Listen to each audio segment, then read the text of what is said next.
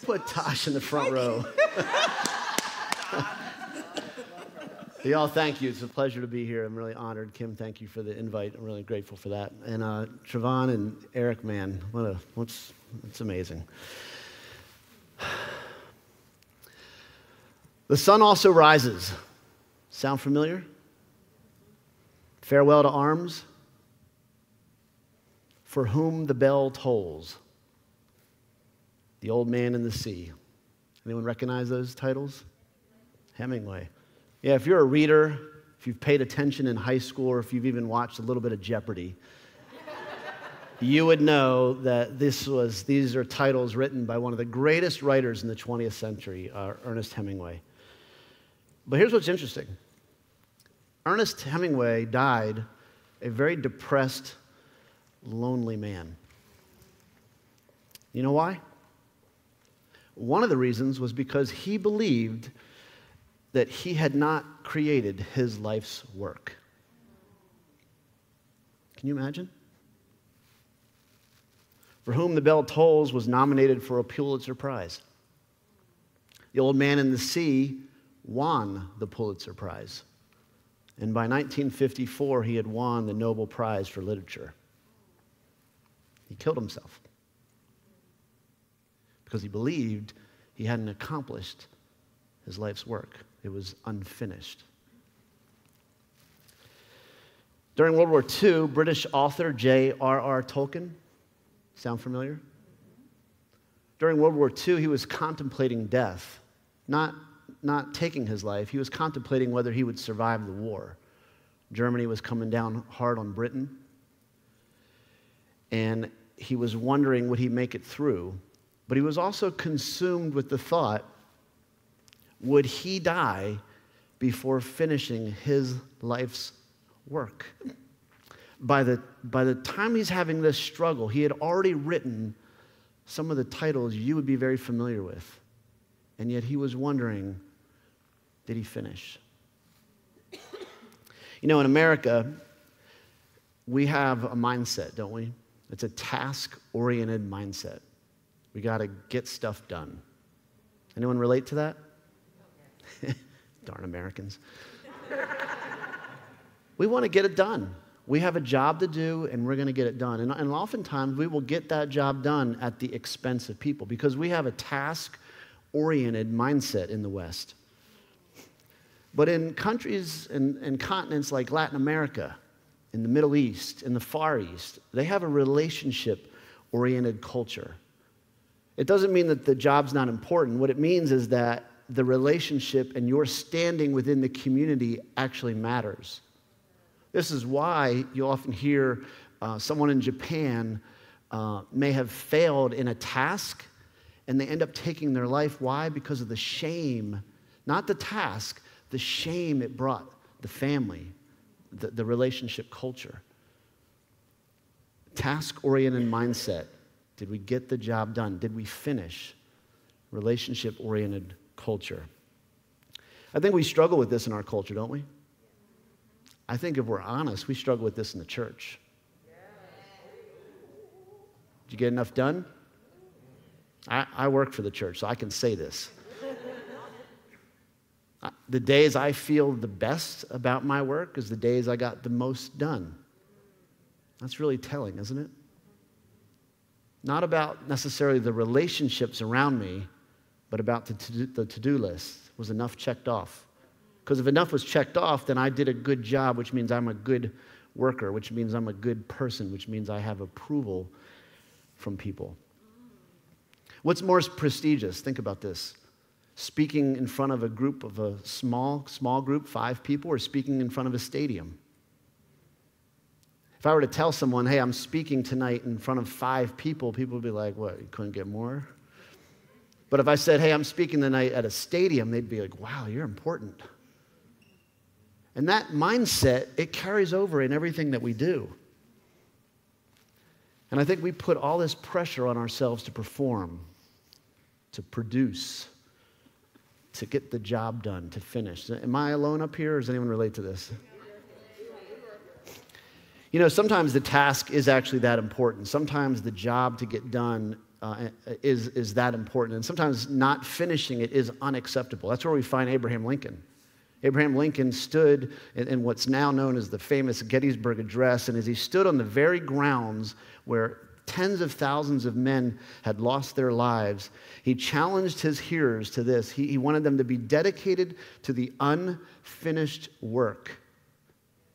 And what was the unfinished work? Well, if you listen to the rest of the speech, the unfinished work was that this nation would be under God and have a, a new birth of freedom. Because the task of ending slavery was that important to him. You know, we put the pressure to perform and to finish the work. And I think we do this in Christian circles. We, we have this, this calling from God sometimes, and we feel like my life's work is this or that. And we have this intense pressure that we put on ourselves that we've got to finish the job. But I want to suggest to you tonight that that pressure is not from God.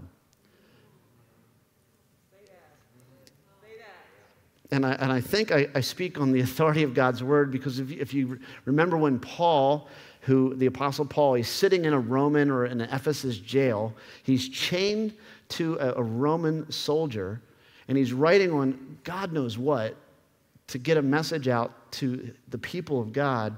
And he, and he writes this He says, Being confident of this, he who began a good work in you, he will carry it on to completion. He does the work. And I think we forget that, don't we? I don't know about you, but I'm pretty, I'm pretty important in my own mind. a lot of times.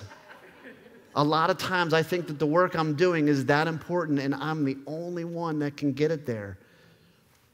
I start to believe that. Do you believe that? I do.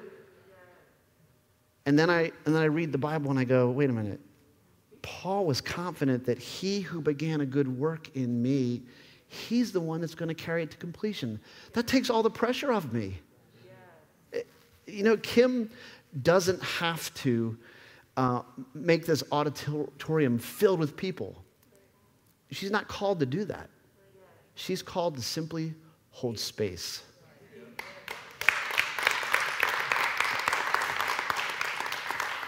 I'm a, I'm a youth pastor at my church. I'm not called to have the biggest youth group. That's, that's not my calling.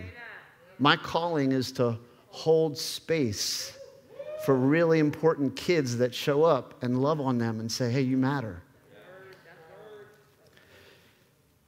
And why? Because he who began a good work, he's going to do the work.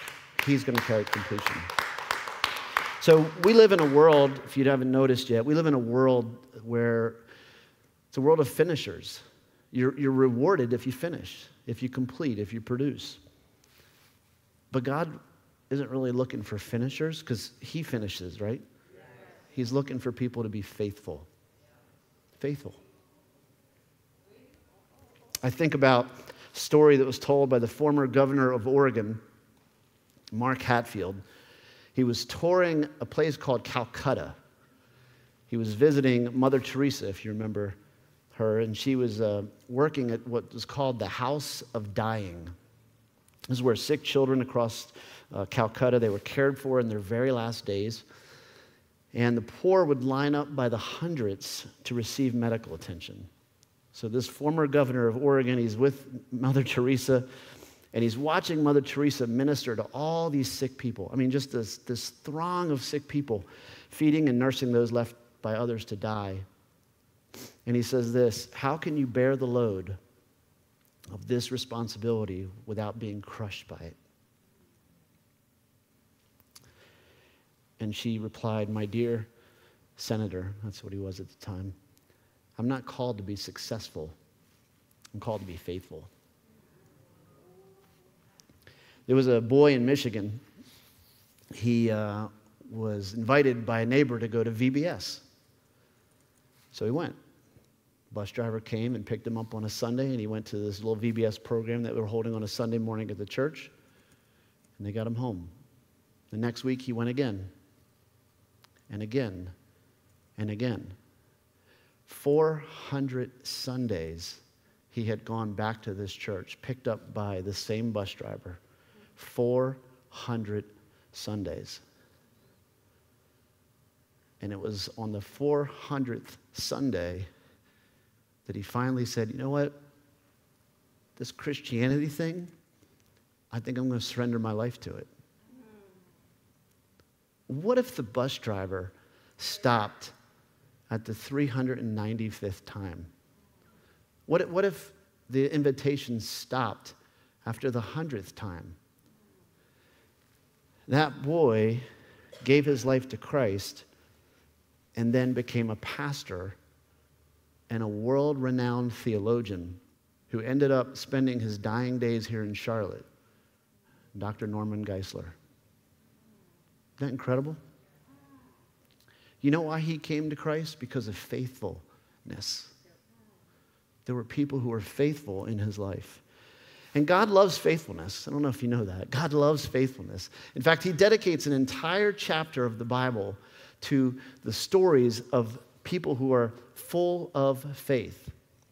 Hebrews chapter 11. If you have a Bible in, your phone or in front of you, turn to Hebrews 11. I'm going to fly through it because of the lack of time. But we find that in this chapter, in Hebrews chapter 11, over 20 times the phrase is by faith. By faith. It's like God's telling this story to say, I want you to get it. It's not about by production, not about by your to do list, it's about by faith. In verse 7, he talks about Noah. You know about Noah, right? Built the ark. You know what Noah's faith was credited for? Is that he listened to a warning about things not yet seen. That, that's, he wasn't he wasn't credited for his faith because he built the ark. He was credited because he listened to this warning about something he had no idea about. And God said, I'm going to mention you in the, in the Hall of Fame of Faith in my Bible. You go to verse 8, Abraham. You know what Abraham was known for? It's, it's in there. By faith, he walked in a direction he was unfamiliar with. I do that all the time. I, didn't, I thought it was being lost. Apparently, God's like, hey, I'll give you credit for having faith. Verse 11 Sarah, Abraham's wife. You know what she was credited for? She believed God could do what she thought was impossible. She didn't need to give birth to an entire nation. She just had to believe that God could do it. Verse 20, verse 21, Isaac and Jacob. They're mentioned. You know why they're mentioned for their faith? Because they gave a blessing. I don't know about you, but I, I always think about faith has got to be like this humongous thing. Like it's got to be so big in order to impress God that if my faith isn't like this massive thing, there's no way God's going to be happy with that. And you know why I think of that? Because I grew up in a task oriented culture. I, am not, I'm not rewarded for tiny little things in my to do list. It's like, no, I've got to save the world. And then I've got to cure cancer. And I've, i got to do all these things in my head that I think are so big. And God's not interested in me being this big finisher. He's just saying, Rod, be faithful. Be faithful in the little things. Just drive a bus. Just drive a bus. I know there's kids in there. Just drive that kid to church 400 times. Moses. Moses is mentioned in the book of faith. In verse 23, um, well, Moses' parents were actually mentioned first. Moses' parents were mentioned, and you know what their, their great act of faith were? They hid a baby. Now, I'm not recommending you just grab babies and hide them and be like, hey, God, look, there's my act of faith. But they hid Moses because they didn't want Moses to be taken and killed, if you know the story. Then Moses is mentioned in the same chapter in verse 24 for his great act of faith. And his great act of faith is, is simply this he refused to be known as the son of Pharaoh's daughter. God's like, there's faith. By faith, the walls of Jericho. You know the walls of Jericho? Y'all can't even appreciate the walls of Jericho. The walls of Jericho were so thick, they were, it was an impenetrable fortress. There's no way. I mean, our own military would have had a hard time taking it down, literally. And they were told to walk around. That was all they were told to do is walk. And it says in this chapter, by faith, the walls of Jericho fell after the, mar- the army marched around it for seven days. That's ridiculous battle strategy. But God wasn't calling them to take out the wall, He just says, go walk. That's all I want you to do is walk. Rahab. Rahab. Rahab was a prostitute. For all you prostitutes out there, I want you to listen. Rahab was a prostitute, y'all. There's a lot of churches that would think, nah, she, she's not going to be mentioned in this, this chapter. She's not going to be mentioned as a person of faith. You know what her great act of faith was in Hebrews chapter 11? She welcomed the spies. There was a bunch of spies, a couple spies, and she just welcomed them into her home. And God's like, boom. It's like, it's like Oprah. Oprah's like, you get a car, and you get a car, and you get a car. And God's like, what? You welcome spies? You get some, a blessing. What? You hit a baby? There, you get some. And he's going on all these things that you would think have to be so big. And God's like, no, no, your faith can be actually like that. Just, just welcome a spy, and I'm going to count you in this chapter. Just hide a baby, I'm going to give you credit in this chapter. Just believe that I'm going to provide you a kidney, and I'm going to give you some credit.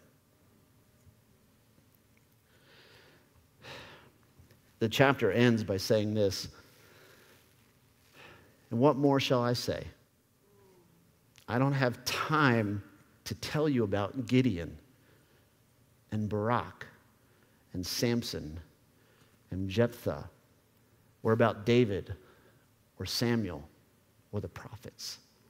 The writer of Hebrews is literally, he's just going on like a, like a rap, like a rap artist. And he's going by faith, by faith, by faith, by faith, by faith. He's just getting this little, this little cadence going. And then he gets down to verse 32 and he's like, y'all, I'm out of a beat. I don't have time.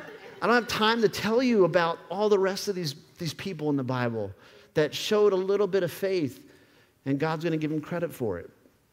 And here's what, here's what it says it says, These people, the people I don't have time to tell you about, they wandered in deserts, they wandered in mountains, they lived in caves, and they lived in holes in the ground. I would like to suggest that some of us relate to that. Do you ever wander in a desert? It may not be a literal one, but I think some people, in the sound of my voice, have wandered in some spiritual deserts. They've been struggling through the mountains. They've been living in caves. They've been living in holes in the ground. Does that sound like some of us tonight? I think if we're honest, we can identify with that. And here's the thing the church oftentimes doesn't allow us to be honest. And it starts with the people who work at the church because the people who work at the church aren't honest. We're not allowed to be honest.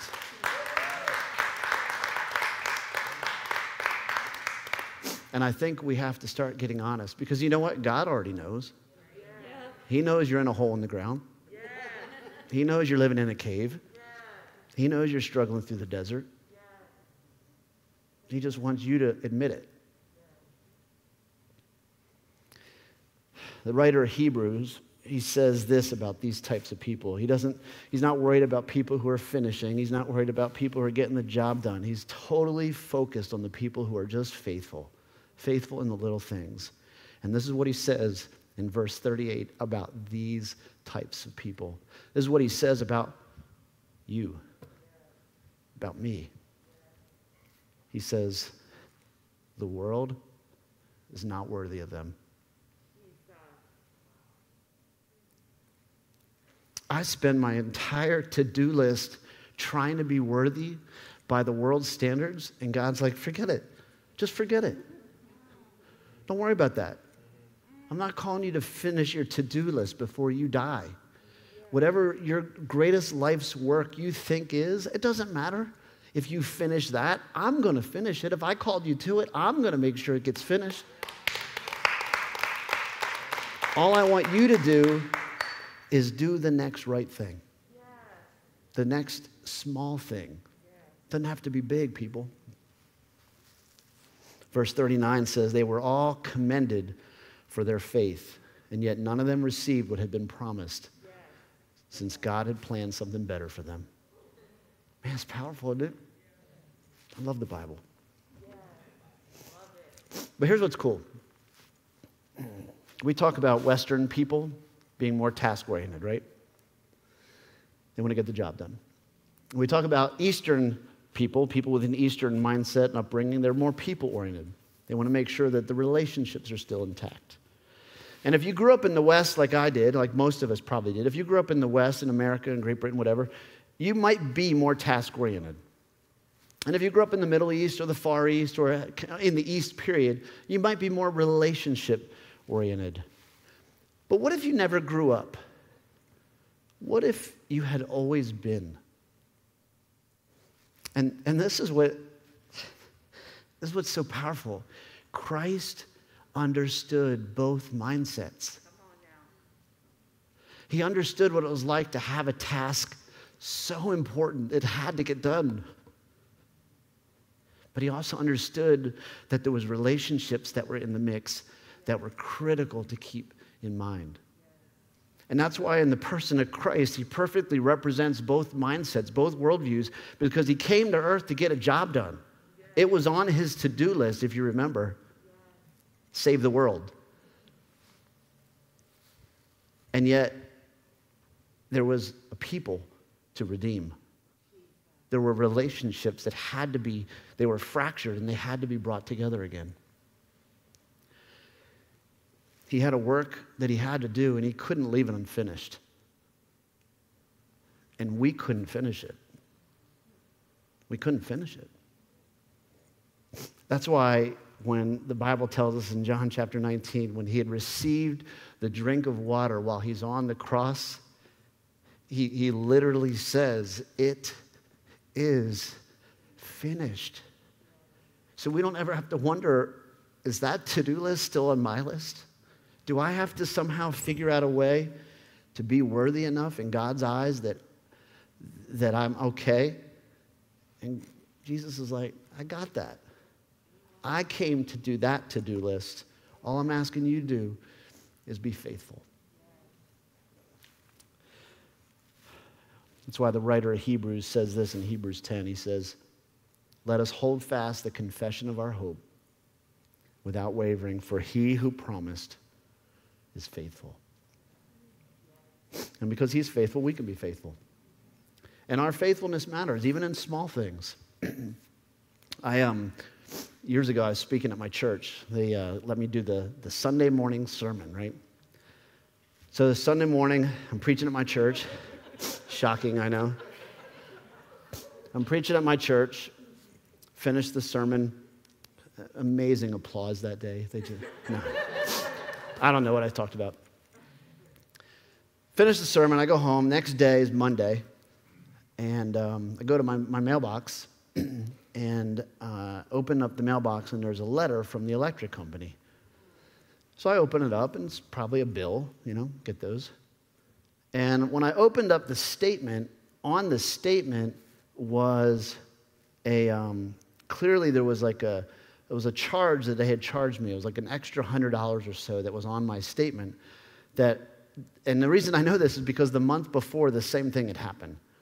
And I, had, and I spent hours. You know how it is? You call these people on some 800 number and it's some faraway person and you're like arguing with them about how, like, hey, look, there's this charge and I'm legit and you can't, whatever. And you fight. Well, it took forever to get this, this last month, it took forever to get this charge off. So here I'm going to the next month, I'm going to the mailbox, and again, the same charge is on there, and I'm like, I'm like really angry. Can I be honest? I'm really angry. Because it, it took a while to deal with the last one. So there's, a, there's an 800 number, right, on these things that you can call and talk to a customer service person. Yeah. So I, I called. Oh, yeah and I'm on hold longer than I want to be. And, and, as I'm on hold, do you ever feel this? Like you're, you're building up this anger. Like you're just frustrated and there's no place for it to go. And I, I remember, I mean, I remember distinctly having this feeling like there was like this little angel on one side and devil on the other, and be like, just be nice to them, kill them. You know, like consider the lilies, and then you're like, I'm going to overturn your table if you let me come over. So I'm going back and forth in my head about how I'm going to respond to this customer service person who's greatly inconveniencing my life. Finally, get to talk to this lady. I'm assuming she's in Singapore or wherever they are. I don't know where these people are, but she's, she's far away, right? So she, she's super nice. She resolves the issue and she says, uh, Mr. Arters, is there anything else that I can do for you today? And I was, I can't even tell y'all how close I was to letting her have it. I mean, I mean, letting her have it. And I, y'all, I, am like a Christian, you know, like uh, I work for a church, but I was that angry. And I said, No, you've been great. And um, I'm trying to get off the phone now. And she says, Well, if you have an extra minute, there's something I'd like to share with you. And I thought, well, this is like your sales pitch, or I have to take some dumb survey about how great you are, you know? And uh, I said, sure. And she said, I just wanted you to know that the sermon you gave at church yesterday was really powerful.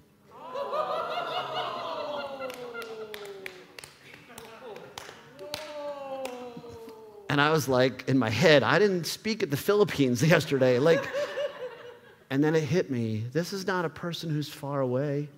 This is a person who was in my town, and she recognized my name on the bulletin, matched the name on the statement, and she had listened to a sermon that I gave and knew the voice was the same.